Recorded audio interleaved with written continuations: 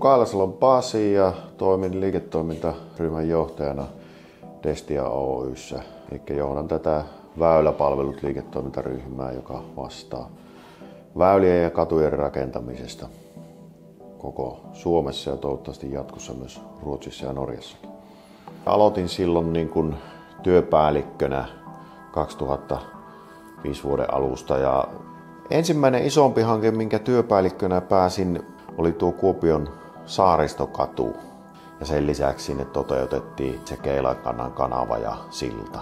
Erittäin monipuolinen ja haastava hanke sisältää niin kuin lähes kaikkea semmoista infraa, mitä Destia toteuttaa. Ja 2011 vuoden alusta sain sitten vastuulle niin tuota Itä-Suomen tulosyksikön. Olihan se semmoinen haaste ja vähän niin kuin, onko se nyt jännitystä vai pelkoa sitten, että miten hän tuosta hommasta tota selviää, mutta ei siitä nyt osannut kyllä kieltäytyä, kun semmoinen mahdollisuus tarjottiin. Mutta ei, ei, ei kaduta kyllä yhtään, että tuli lähettyä.